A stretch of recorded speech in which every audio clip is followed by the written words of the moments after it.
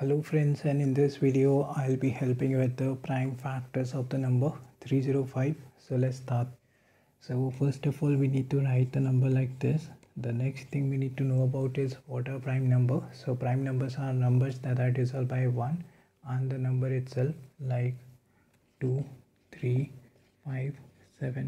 and so on all right so we'll check with the lowest prime number we have that is 2 is the number 305 dissolved by 2 no it is not because number is odd so we'll check with the next lowest prime number that is 3 3 tens are 30 3 ones are 3 2 left it is not resolved by 3 also let's check with 5 uh, the last digit is 5 so it is resolved by 5 and we'll be having 61 now 61 is not resolved by 5 and on that 61 is also a prime number so it is only resolved by itself that is 61 and once we do so we'll be getting 1 once we get one we need to stop and do one last thing